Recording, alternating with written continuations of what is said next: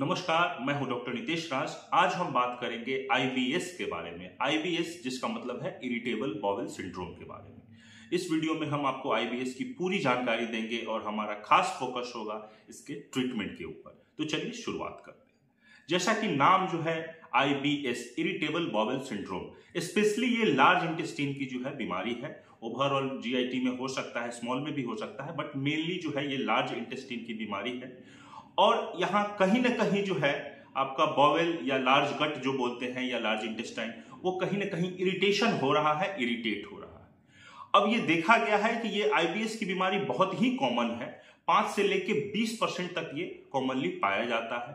Females में ये ज़्यादा होता है मेल्स के बनिस्पत तो इस केस में जो है, कैसे हम डायग्नोज करेंगे कि किसी को आईबीएस है तो क्या क्या सिम्टम्स देखने को मिलते हैं?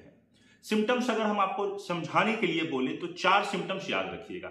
A B C D A for हो गया एब्डोमिनल पेन पेट में दर्द होगा।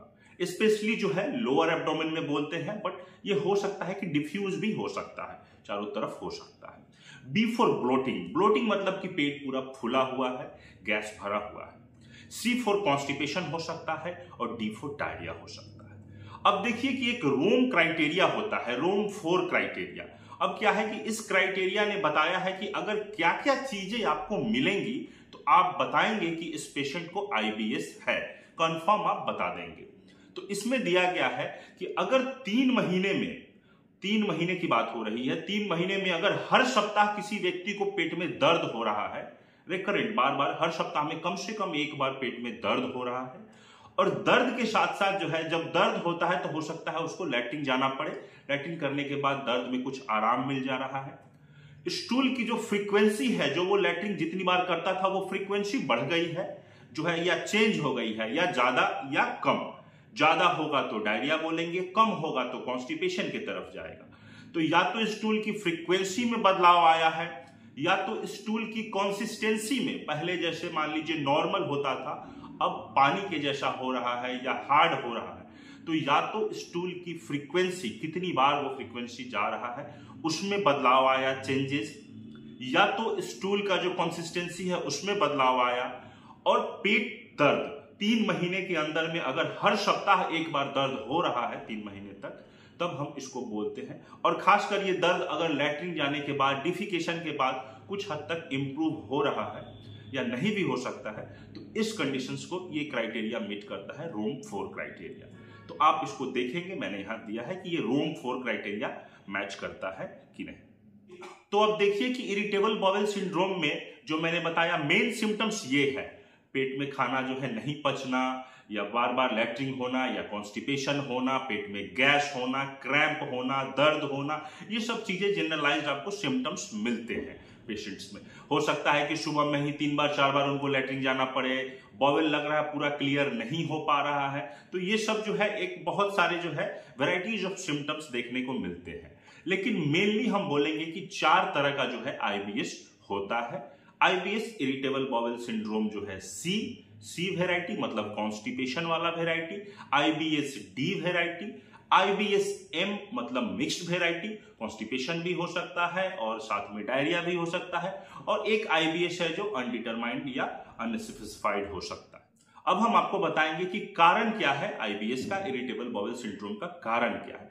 देखिए एज सच बहुत डेफिनेट कुछ कारण तो नहीं है बट कुछ हाइपोथेसिस कुछ जो है बताया गया है चीज़ें कि ये हो सकता है, जिसमें चार पाँच चीज़ें हैं, मैं आपको बताऊँगा। सबसे पहले बोला जाता है कि अल्टर्ड जीआई मोटिलिटी मतलब जो भी हम खाना खाते हैं तो हमारा गैस्ट्रो इंटेस्टिनल ट्रैक्ट है, पूरा यहाँ से लेके नीचे तक जो है तो गैस्ट्रो इंटेस्टिनल ट्रैक्ट में जो मूवमेंट होता है, खाना का पेरिस्टालसिस मूवमेंट के चलते खाना नीचे की ओर प्रोपेल होता है और लैट्रिन से बाहर निकलता है।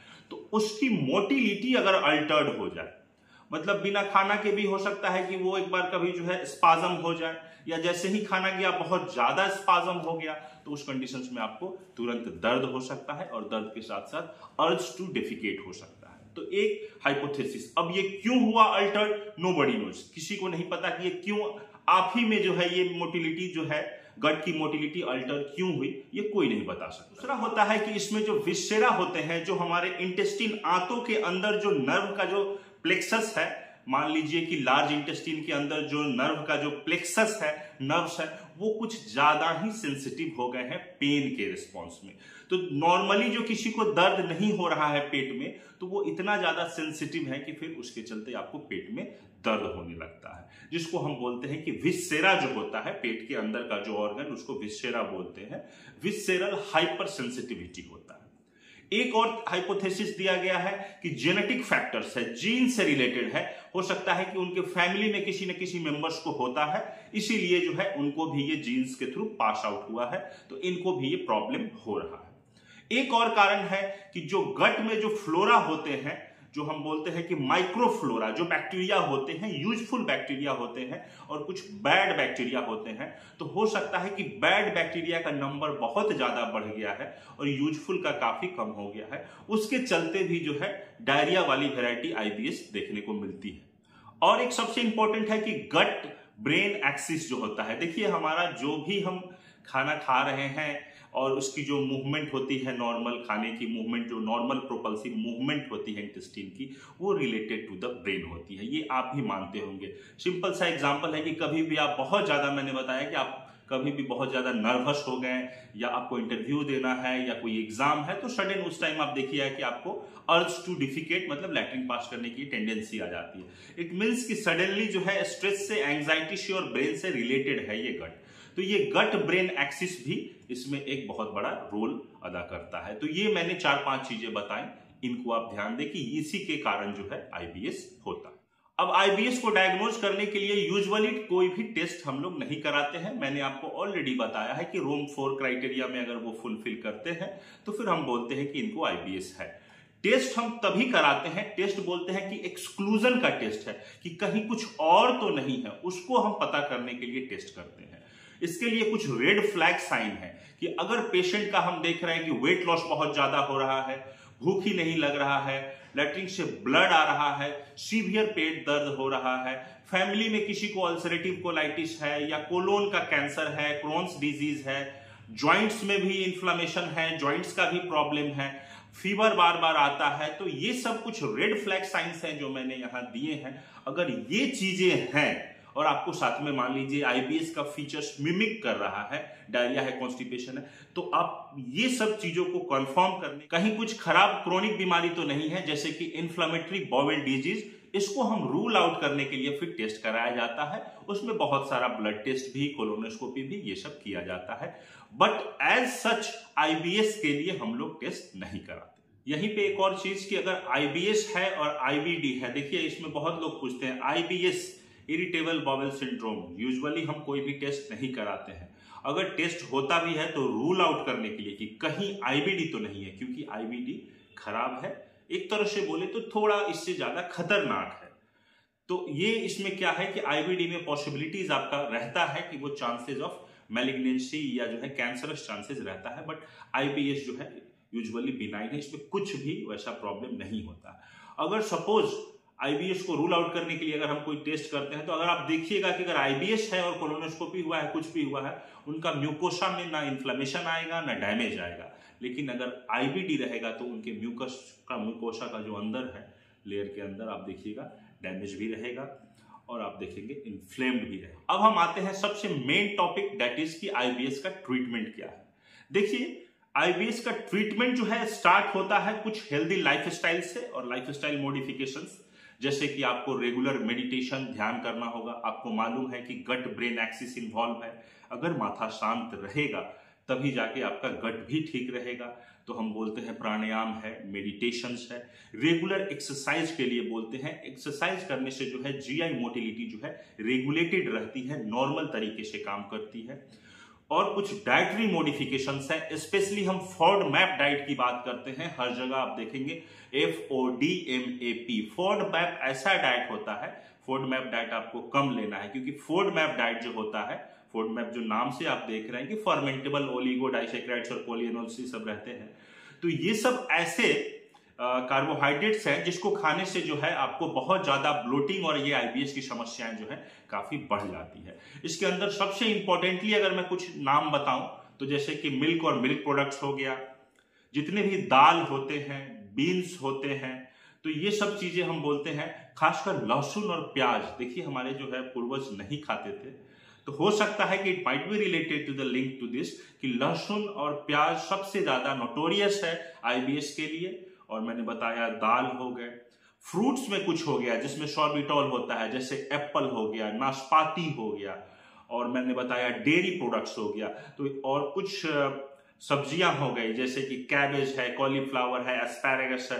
तो ये सब जो है मैंने दिया है, कुछ फ़ूड मैप डाइट ये आपको लो करके रखना है।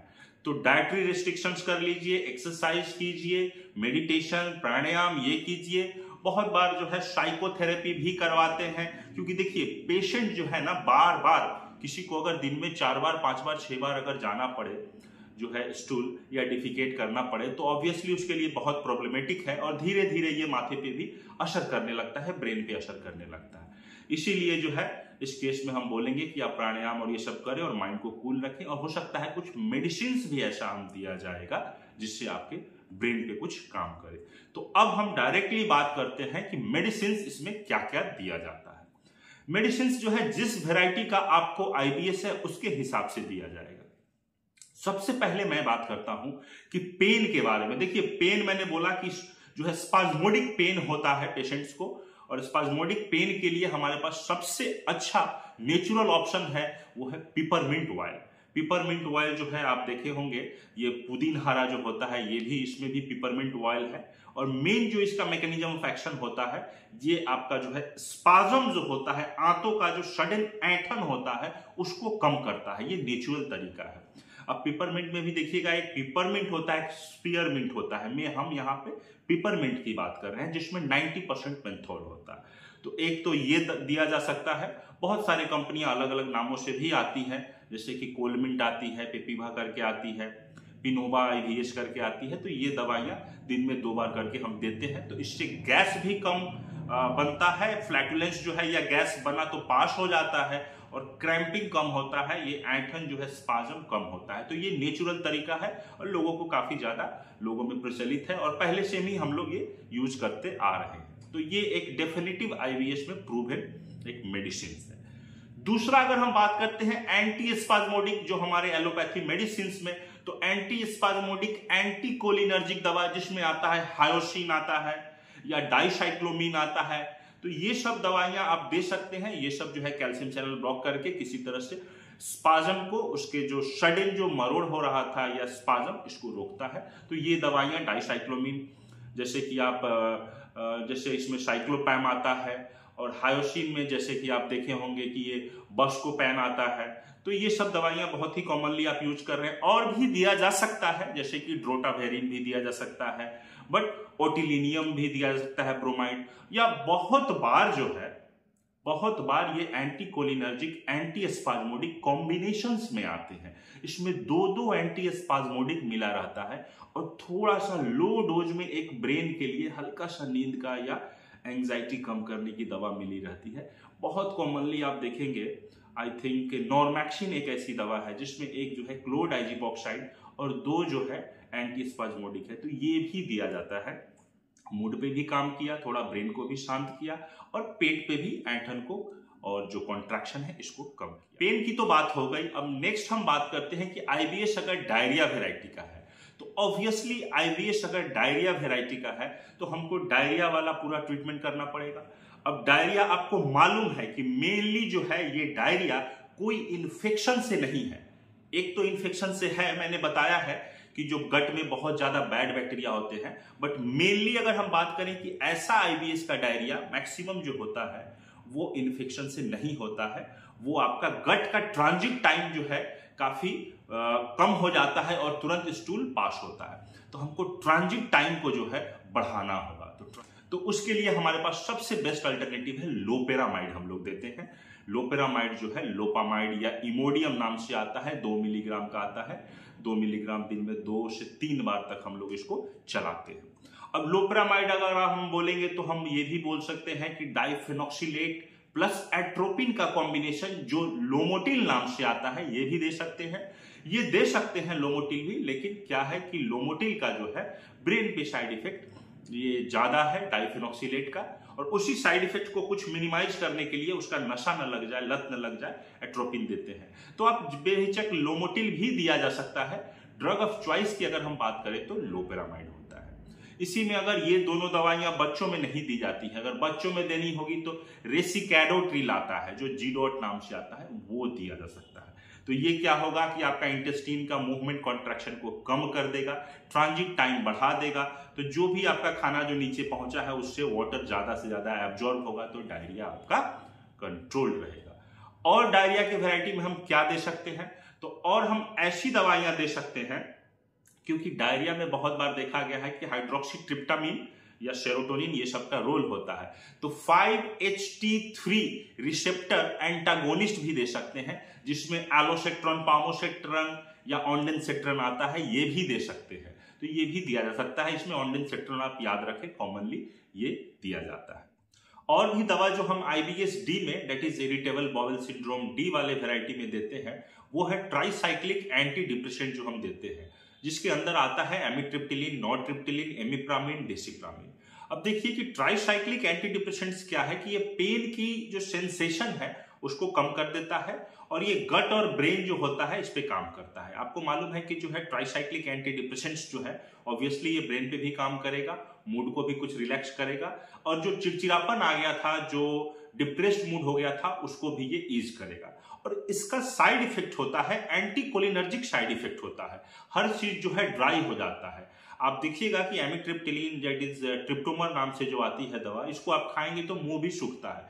इसी तरह से आपका पेट में भी जो लिक्विड है और जो वाटरी जो आप डिस्चार्ज हो रहा है, वो भी धीरे धीरे ट्रांजिट टाइम बढ़ जाता है आंतों का। जो खाने का, जो मूवमेंट का और जो उससे एब्जॉर्प्शन होने लगता है तो वहाँ का भी सेक्रेशन ड्राई होता है।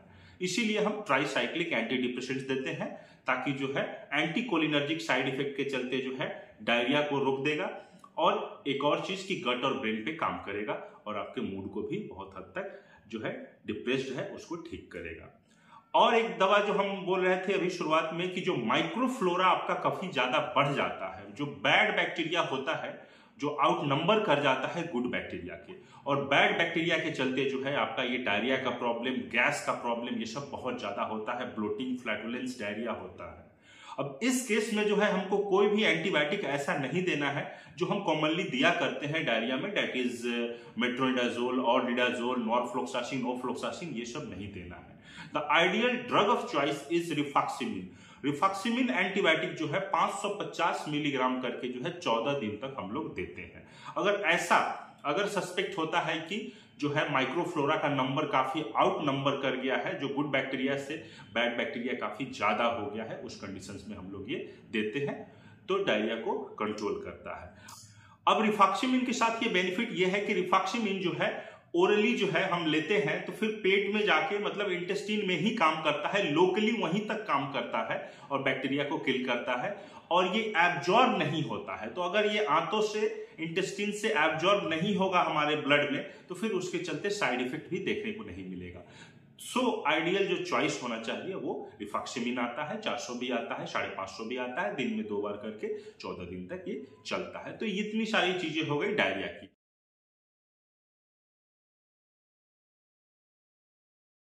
तो अगर पेट में दर्द है तो मैंने बताया कि नेचुरल तरीका पिपरमिंट ऑयल और साथ में एंटी कोलिनर्जिक एंटी स्पाजमोडिक दवाइयाँ जो मैंने बताया हायोसिन और जो कि बस्कोपैन या साइक्लोपाम या ड्रोटावेरिन ये सब हो गई। और साथ में अगर डायरिया हो रहा है तो इन सब चीज़ों को आप दीजिए जो मैंने यहाँ दिया है, आप इसे देख सकते हैं।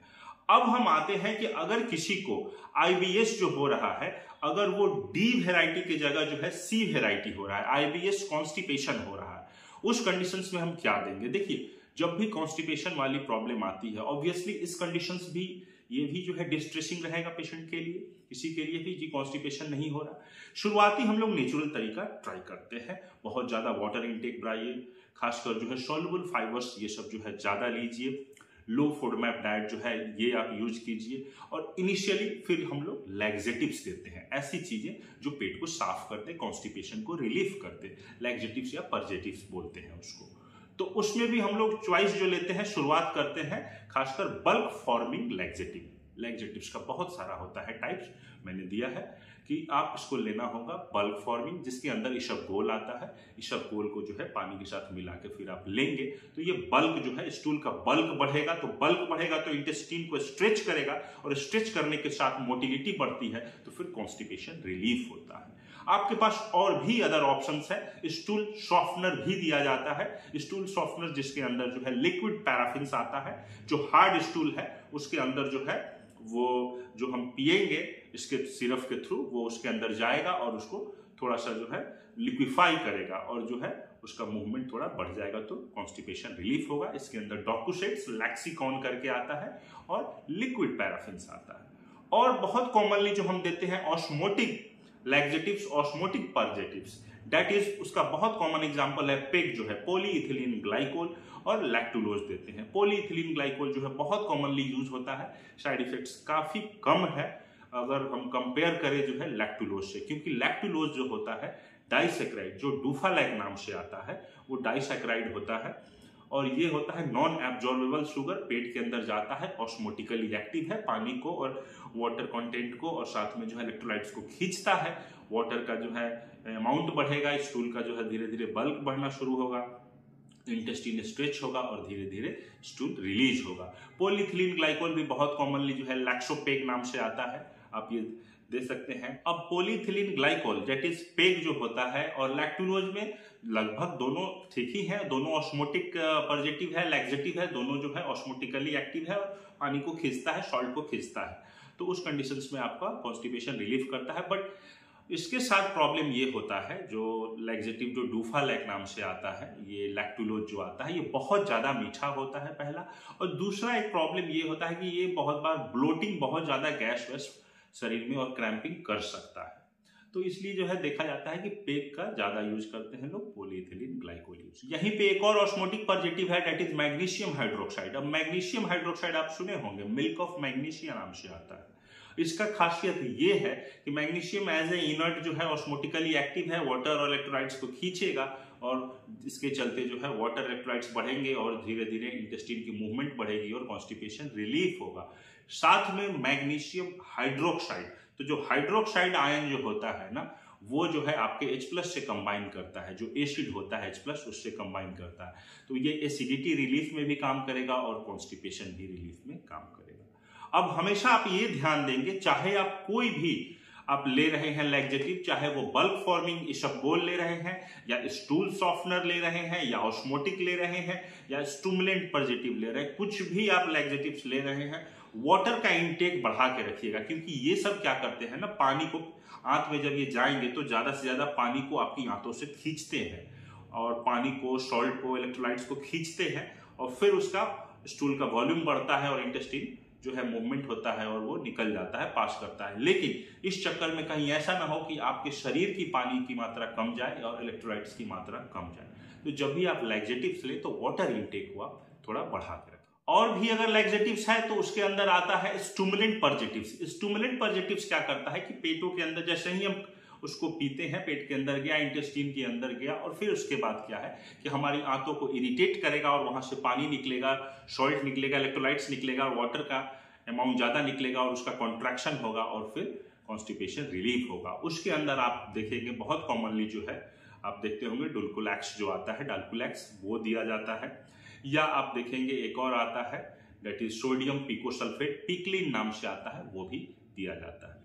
तो ये बात हो गई। और एक टैबलेट जो कि आजकल बहुत ज़्यादा गेन कर रहा है इंपॉर्टेंस और ये बहुत अच्छा काम कर रहा है। जैसा कि मैंने बताया था कि 5HT3 रिसेप्टर एंटागोनिस्ट अगर हम देते हैं तो हमारा स्टूल क्या होता है कि जो पतला हो रहा था, वो स्टॉप होता है, जिसमें एलोसेट्रन पैमोसेट्रन और ऑन्डेंसेट्रन आता है। 5HT4 रिसेप्टर एगोनिस्ट देंगे प्रूकैलोप्राइड, जो कि प्रूविक्ट नाम से आता है, प्रूसेंट नाम से आता है तो आंतों की मूवमेंट मोटिलिटी बढ़ेगी और ये जो है कॉन्स्टिपेशन क्लियर करेगा। तो ये प्रूविक्ट दवा जो भी दो मिलीग्राम करके हम देते हैं एडल्ट में और ओल्डर एज में जो है वन मिलीग्राम करके दिन में एक बार देते हैं।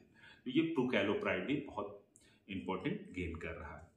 अब आप देखते हैं कि बहुत सारे न्यूअर ड्रग्स भी, दोनों के केस में डायरिया के केस में कॉन्स्टिपेशन के केस में भी बहुत सारे आए हैं बट इतना ज़्यादा ज़रूरत नहीं पड़ता अब देखिए कि एक और चीज़ मैंने आपको बताया कि जैसे कि ट्राईसाइक्लिक एंटी डिप्रेशेंट्स का साइड इफ़ेक्ट होता है कि वो डायरिया को रोक के, वो कॉन्स्टिपेशन वाला साइड इफ़ेक्ट होता है, क्योंकि उसका एंटी कोलिनर्जिक प्रॉपर्टी होता है। इसी तरह से जो एस एस आर आई वाले जो होते हैं सेलेक्टिव सेरोटोनिन रीअपटेक इनिबिटर वाले दवाइयाँ जो होती है डेट इज़ एस एसिटेलोप्राम या आप देखेंगे पैरोक्सिटीन फ्लोवोक्सिटीन ये सब जो दवाइयाँ हैं, इनका जो एस होता है, इनका साइड इफेक्ट्स डायरिया होता है मतलब एक तरह से अगर डायरिया साइड इफ़ेक्ट होता है तो कॉन्स्टिपेशन में काम तो कर ही जाएँगे और साथ में गट ब्रेन पे भी काम करेंगे ब्रेन में भी मूड का भी इरिटेशन कम होगा और साथ में आपका मूड धीरे धीरे जो है हैप्पी होना शुरू हो जाएगा नॉर्मल होना शुरू हो जाएगा। ये सब दवाइयाँ जो भी है, चाहे वो ट्राईसाइक्लिक एंटी डिप्रेशन हो या S S R I anti depression ये सब काम करने में समय लगता है, कम से कम तीन से चार सप्ताह टाइम लग जाता है।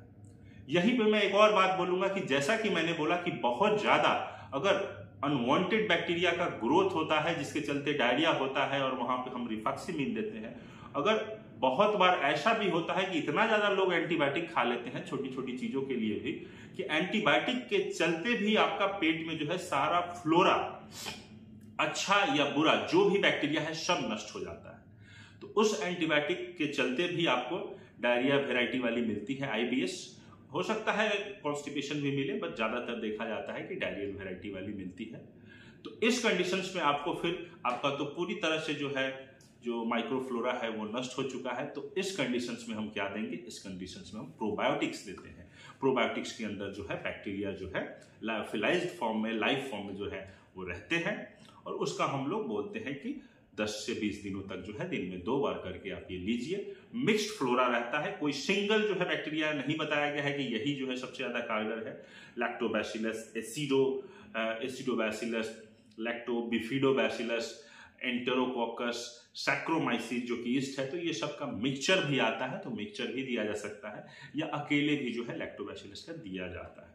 तो ये भी एक प्रूवन इफ़ेक्ट शो कर। अब यहीं पे एक और बात बताऊँ कि अगर आईबीएस जो है मिक्स्ड वेराइटी है तो उस पर हमको इलाज जो करना है, वो देख लेना है कि कौन सा डोमिनेंट है। क्योंकि देखिए मिक्स वेराइटी होगी तो या तो डायरिया डोमिनेंट होगा या कॉन्स्टिपेशन डोमिनेंट तो जैसा होगा, उसके हिसाब से ही जो है हम लोग इलाज देंगे। तो कंक्लूजन यही है कि अगर आपको आईबीएस है, इसमें कोई भी परेशानी की बात नहीं है। बहुत सारे लोगों को ये होता है, किसी को कम, किसी को ज़्यादा बट ये बहुत जनरली इनकाउंटर किया जाता है। बहुत सारे लोगों में ये होता है। अब आपको क्या करना है? सबसे पहले मैंने ये बताया था कि किस कारण से होता है। जेनेटिक्स पे तो आपका कंट्रोल नहीं है। लेकिन अगर गट ब्रेन से हो रहा है तो माथे को तो आप जो है शांत करने के लिए कम से कम मेडिटेशन प्राणायाम ये तो कर सकते हैं। गट का मोटिलिटी अच्छा रहे डिसमोटिलिटी ना रहे, कम ज़्यादा ये सब ना रहे नॉर्मल मोटिलिटी रहे तो उसके लिए आपको एक्सरसाइज करने के लिए बोला जाएगा। कुछ फ़ूड है, जो मैंने बताया फ़ूड मैप जो है तो वो डाइट्स खासकर जो है, दूध का आइटम आप अवॉइड करें ग्लूटेन खासकर आटे का आइटम बहुत नोटोरियस होता है। इसीलिए देखिएगा, आजकल लोग ग्लूटेन फ्री डाइट लेते हैं, क्योंकि सब लोगों की आते उतनी ज़्यादा टॉलरेंट नहीं है, बहुत सेंसिटिव हो गई है सबकी इंटेस्टिन्स तो ग्लूटेन फ्री लीजिए। गार्लिक्स का या और जो प्याज, लहसुन जो बोल रहे हैं, इसका जो है उपयोग कम कर दें। दाल पल्सेज बीन्स ये सब जो है आप कम करें। ऐसी चीज़ें जिसमें ज़्यादा गैस बनती हैं कैबेज कॉलीफ्लावर एस्पैरागस ये सब आप नहीं लीजिए। तो फिर देखा जाएगा। तो मैं यही कह रहा हूँ कि आपको किस चीज़ से परेशानी होती है, वो आपसे ज़्यादा बेटर आपके डॉक्टर फिजियोथेरेपिस्ट कोई या जो साइकोथेरेपिस्ट कोई भी नहीं बता सकते हैं, वो आपको पता होगा आप बारी बारी से जो है वीक वीक मतलब वीकली जो है एक एक चीज़ों को आप बंद करके देखें और फिर आप नोट करें एनालाइज करें कि किससे इंप्रूवमेंट हो रहा है, किन चीज़ों से होता है। हालाँकि लगभग सब आदमी को पता रहता है कि हम ये खाते हैं तो प्रॉब्लम होती है। उन चीज़ों को आप अवॉइड करें। दूसरा है कि आपके पास मेडिसिन तो दिया ही गया है। अगर आपको बेस्ट मेडिसिन की बात किया जाए डायरियल वेराइटी के लिए तो लोपेरामाइड है, बहुत ही अच्छा काम करता है। साइड इफ़ेक्ट बहुत कम है। और अगर आपका जो है कॉन्स्टिपेशन वाला वेराइटी है तो लैग्जेटिव्स ले सकते हैं आप। लैग्जेटिव्स में बहुत सारा ऑप्शन है जो मैंने बताया। और टैबलेट्स जो बहुत अच्छा आजकल काम कर रहा है प्रोकैलोप्राइड करके प्रूविक्ट करके, ये भी आप ले सकते हैं।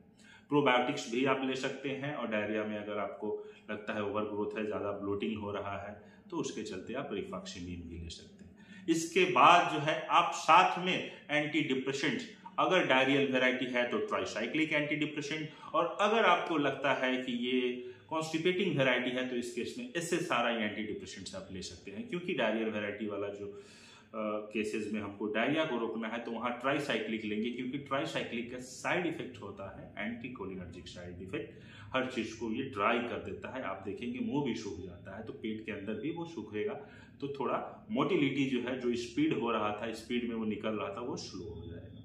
और ऐसे साराई का साइड इफ़ेक्ट हम देखे हैं कि डायरिया है। और ये गट ब्रेन पे भी काम करेगा मूड को भी ठीक रखेगा, क्योंकि ऑब्वियसली किसी के लिए भी ये बहुत ज़्यादा थोड़ा सा तो लोग चिड़चिड़ा जाते हैं, क्योंकि बार बार अगर कोई काम कर रहे हैं इंटरप्शन है डे टू डे एक्टिविटी में ये प्रॉब्लम करने लगता है ट्रैवल करने से बचते हैं तो ये ऑप्शन हैं आपके पास। ऐसा नहीं है कि आप जो है मतलब कोई लाइलाज है ये। आपके पास ढेर सारे ऑप्शंस है which option suits best for you और लास्ट में कॉग्निटिव थेरेपी है कॉग्निटिव बिहेवियर थेरेपी साइकोथेरेपी ये भी है। आप उनसे भी सलाह ले सकते हैं। मुझे उम्मीद है ये वीडियो आपको अच्छी लगी होगी। आप इसे ज़्यादा से ज़्यादा शेयर करें और अभी तक हमारे चैनल को आपने सब्सक्राइब नहीं किया है तो सब्सक्राइब कर लें। थैंक यू सो मच जय हिंद।